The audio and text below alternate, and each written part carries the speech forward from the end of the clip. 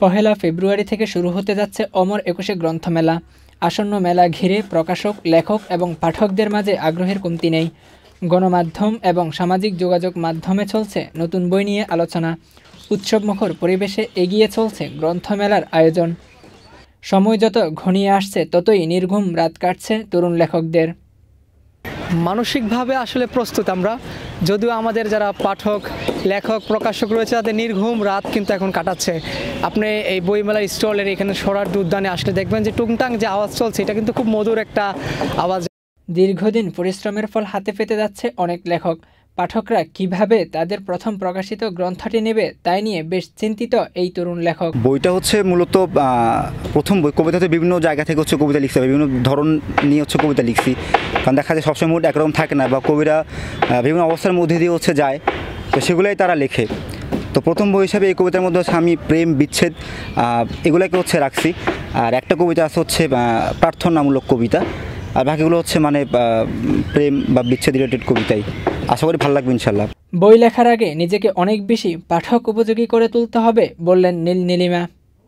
বই বের করার আগে প্রচুর পড়তে হবে প্রচুর পড়তে হবে এটা অনেক স্টাডি করতে হবে অনেক এরপরে ভাবতে হবে। আর একটা লেখক সে যখন নিজে ভাববে যে না আমার লেখাটা আমার খুব মনে ধরছে বা হ্যাঁ আমার কাছে এটা ভালো লাগে। সে যখন নিজেকে নিজে কারেকশন করবে, নিজেকে নিজে রাইট বলবে, তখন পাঠক সেটা রাইট হিসাবে নিবে। গত বছর যে হিসেবে পাঠক ছিলাম, পাঠিকা ছিলাম, এখন আবার নতুন করে পাঠিকা হব বা নতুন করে বই দেখব, বইয়ের প্রচ্ছেদ ছুঁয়ে দেখব। জিনিসগুলো আমার কাছে খুব ফ্যাসিনেশন লাগছে এবং প্রতীক্ষায় আছে আর কি।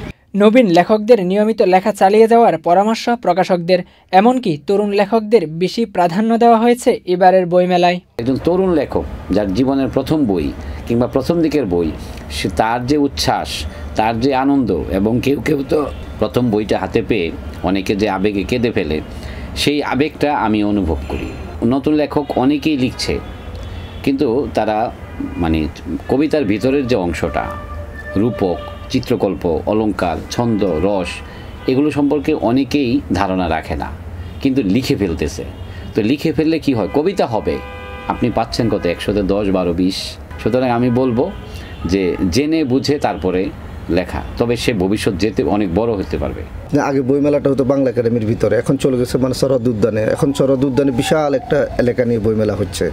বিজ্ঞান ভিত্তিক বই লেখার আহ্বান জানিয়ে মেলার আয়োজক কমিটির সদস্য সচিব doctor K M Mujahidul Islam বলেন, নতুন প্রকাশনী এবং তরুণ লেখকদের সুযোগ করে দেওয়ার জন্য স্টল বাড়িয়েছে বাংলা একাডেমি।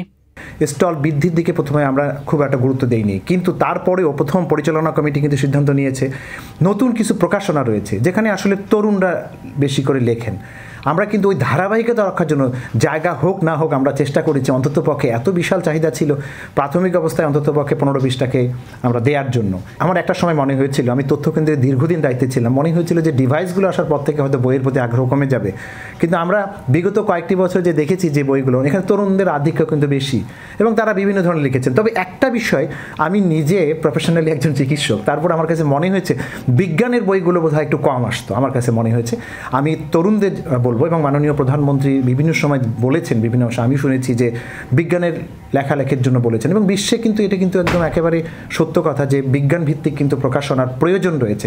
কারণ এটি গবেষণা করার পরে দেশের অন্যান্য জায়গায়, যে কোনো জায়গায় কিন্তু এটাকে প্রথম ভিজুয়ালাইজড হয়। অতএব আমি মনে করি যে এটির প্রয়োজন রয়েছে। আর তরুণদের বিষয়ে আমি এটা বলব, এখানে প্রকাশকদেরও একটু আমি বলব মানে আমার কাছে রিকোয়েস্ট তাদের প্রতি যে আসলে তারা তো নতুন। তাদেরকেও তো হয়তো বা আমি বছরে যদি দশটা বই ছাপি, অন্ততপক্ষে দুটো বই অন্ততপক্ষে তরুণদের আমরা নেই, যাতে অন্ততপক্ষে তারাও যেন উঠে আসতে পারে। কারণ না লিখলে, না আমরা তাহলে তো তার একটা মনে করব, একটা সময় তারা শুধু ওই ডিভাইসের দিকেই চলে যাবে। বইয়ের দিকে আগ্রহ হারিয়ে ফেলবে। আমি মনে করি এটার খুব প্রয়োজন রয়েছে। অন্যান্য বারের চেয়ে এবারের বইমেলা আরও বেশি লেখক পাঠকদের মিলন মেলায় পরিণত হবে এমন প্রত্যাশা সকলের। Abdul Kader channel I online